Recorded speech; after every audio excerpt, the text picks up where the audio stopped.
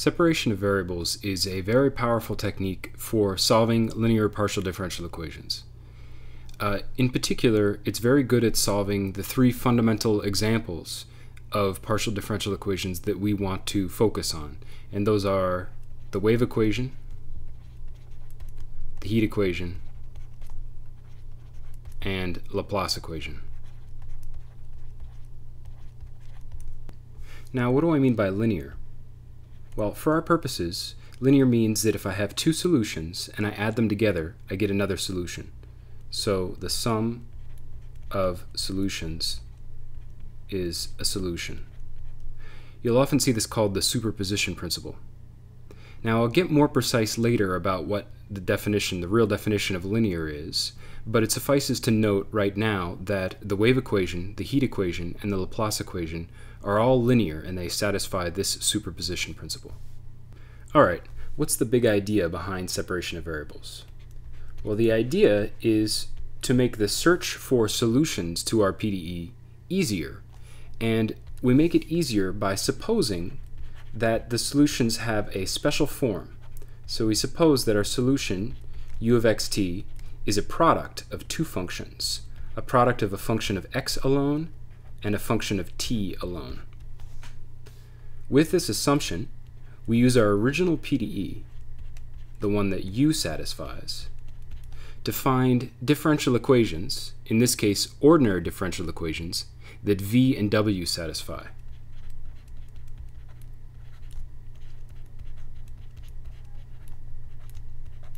And we're going to cross our fingers and hope that somehow these differential equations are easier to solve than the original PDE, and uh, we'll find that we're correct most of the time.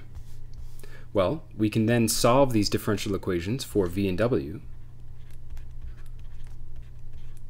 and hopefully get many solutions. So I'm going to say v lambda, w lambda.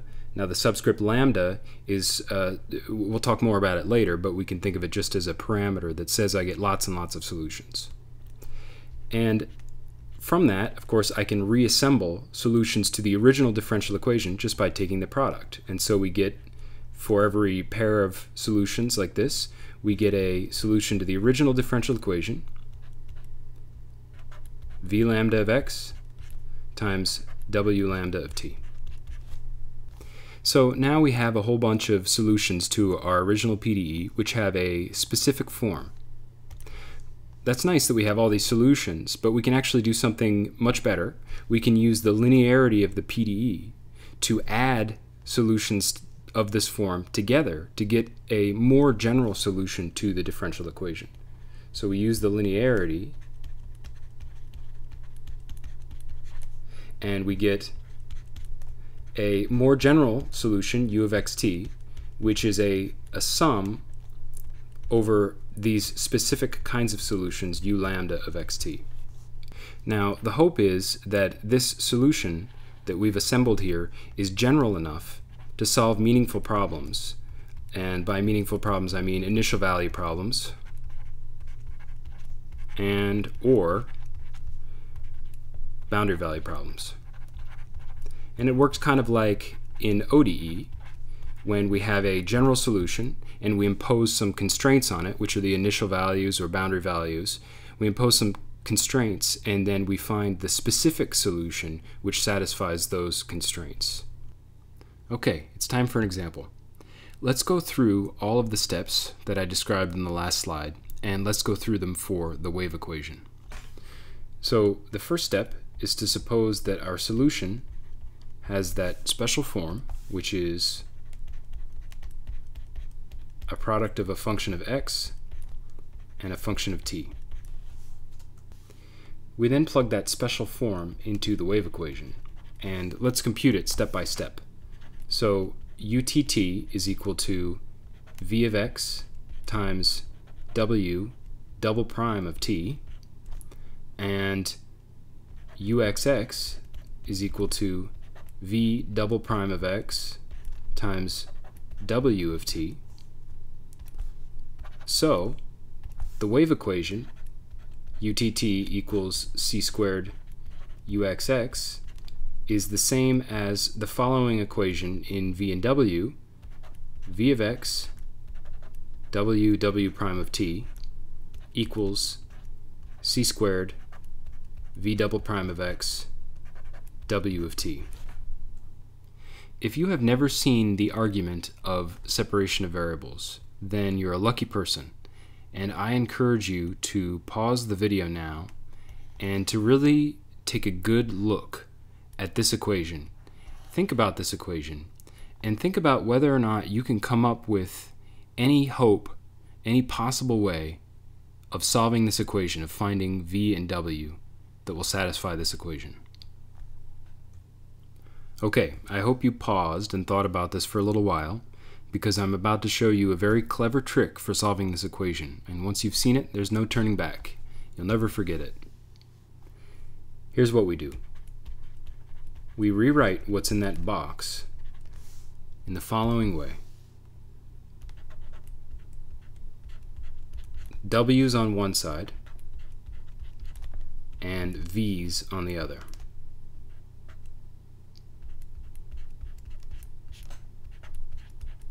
Now, we make the following observation. On the left-hand side is a function of t alone, no x's. On the right-hand side is a function of x alone, no t's. The only way that a function of t alone can be equal to a function of x alone is if both functions are constant, and we'll call that constant lambda. Lambda is referred to as the separation constant. And it's no coincidence that I use the notation lambda like I did on the last slide, because lambda is exactly that constant which is, in some sense, parameterizing the solutions to the wave equation that we get from solving for v and w. So, that's the trick.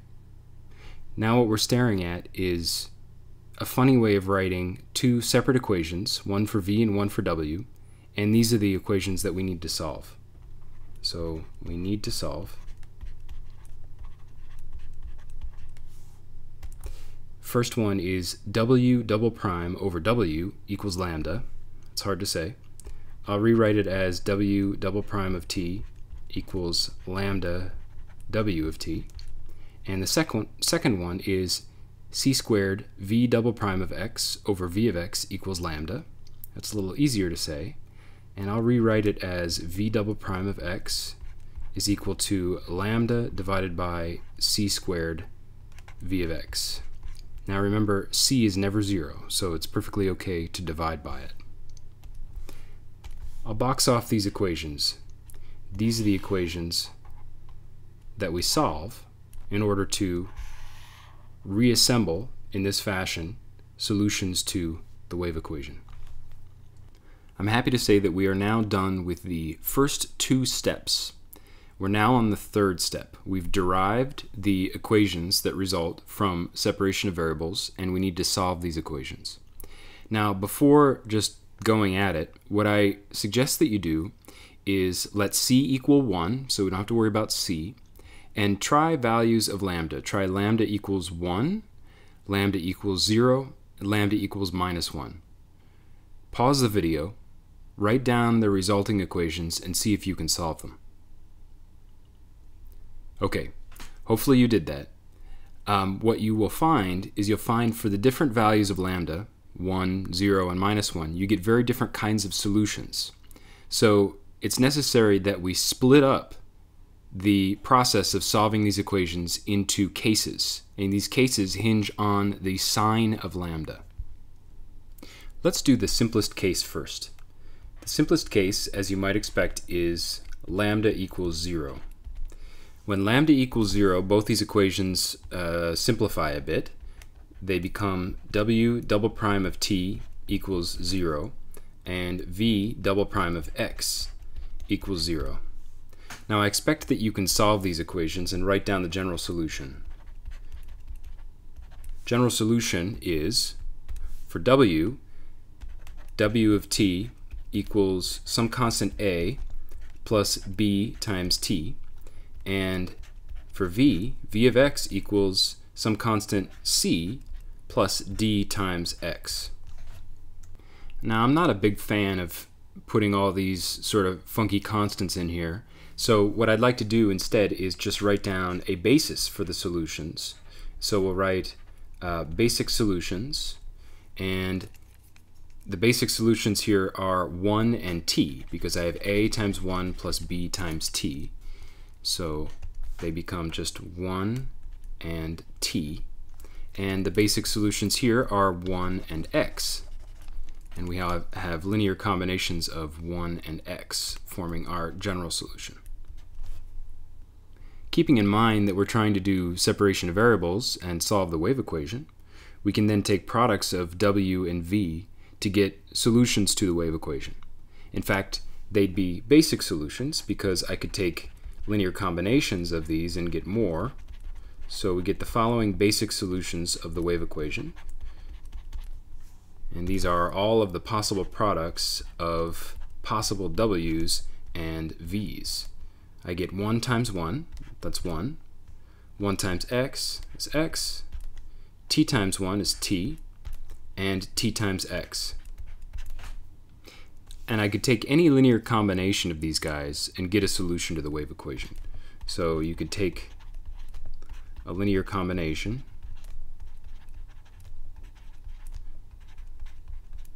u of xt equals some constant times 1, call it a, some constant times x, call it b, some constant times t, call it c, some constant times tx, call it d. And that resulting linear combination would be a solution to the wave equation. We're done now with the case lambda equals 0. Let's do the case lambda greater than 0. In this situation, when lambda is greater than 0, it's convenient to write it as a square. So I'm going to write lambda equals omega squared, which is some strictly positive number. I'm going to be brave here and I'm going to use omega and w on the same slide. Hopefully it's not too confusing. Let's rewrite our equations then. So we have w double prime of t is equal to omega squared w of t and v double prime of x is equal to, I'll combine the two guys that are squared, omega over c quantity squared, v of x. These are some pretty classic ordinary differential equations, and I'll assume that you've eh, seen them before or you're at least vaguely familiar with them. And I'll tell you what the basic solutions are. In other words, the solutions whose linear combinations form the general solution. For w, we have w of t is equal to an exponential of omega times t or an exponential of minus omega times t. For v, it's very similar. We have an exponential of omega over c times x, or an exponential of minus omega over c times x. As before, we can take all of the possible products of these two guys to get a bunch of basic solutions to the wave equation. So our basic solutions to the wave equation that result will be u of xt equals well, e to the omega t times e to the omega over cx, and I'll write that as e to the omega t plus x over c. e to the omega t times e to the minus omega over cx. I'll write that as t minus x over c. And also e to the minus omega t times e to the omega over cx. I'll write that as e to the minus omega times t minus x over c, and also e to the minus omega times t plus x over c, being that final product. As before, any and all linear combinations of these basic solutions will again be a solution to the wave equation. So any sum of these four guys with any old constants out in front will again be a solution to the wave equation. Okay, our last case is the case when lambda is negative, and we'll write lambda as minus some number omega squared. These equations will become w double prime is equal to minus omega squared w and v double prime is equal to minus omega over c squared v. As before, these are not wild and crazy ordinary differential equations. Hopefully you've seen these before and can solve them. And when you do, you'll get the basic solutions, which are sines and cosines. w of t equals either cosine of omega t or sine of omega t, and v of x equals either cosine of omega over c x or sine of omega over c x. And as before, the basic solutions of the wave equation will be all of the possible products of these guys. And those will be u of xt equals cosine of omega t times cosine of omega over cx cosine of omega t times sine of omega over cx sine of omega t times cosine of omega over cx and sine of omega t times sine of omega over cx. All of these guys will be solutions to the wave equation, and any linear combination of these guys will be a solution to the wave equation. Okay, we've done quite a bit in the last 15 or so minutes, so I'd like to end with a quick summary just so we can kind of get it all together in our heads. So the first step was to look for solutions of the wave equation which had the following form, product of a function of x and a function of t. We then found, by some calculation, that that assumption implied that w and v satisfy certain ordinary differential equations, and those differential equations depended on a parameter lambda, which was our separation constant. We were then able to solve those differential equations, and we got a whole big pile of solutions based on assumptions on lambda. Lambda equals 0, lambda positive, or lambda negative. It's great that we have all these solutions because all of these solutions will allow us to solve certain kinds of problems, initial value problems, boundary value problems, and we will do that in follow-up videos. Now, let me end with a question. And this question is to test your basic understanding of the process of separation of variables. And here's the question. It's a little vague. The question is, can we mix and match values of lambda. Let me explain what I mean. Let's suppose that we choose a value of lambda. Let's say lambda equals 0. And we look at these equations and we solve, say, just one of them. How about the v equation? We solve it and we get v of x equals, say, x. Now, Let's choose a different value of lambda. Let's say lambda equals minus 1. Now we go back up and we solve the w equation with lambda equals minus 1 and we get, say, w of t equals cosine of t.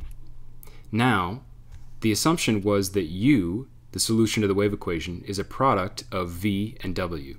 So take the product of this v and w and tell me, is it a solution to the wave equation? And if not, why isn't it? Why was there a problem when I mixed these different values of lambda? Okay, see you later.